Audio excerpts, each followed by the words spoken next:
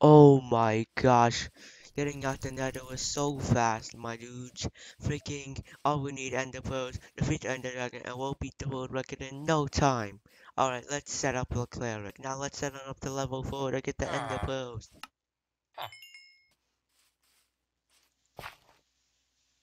Huh.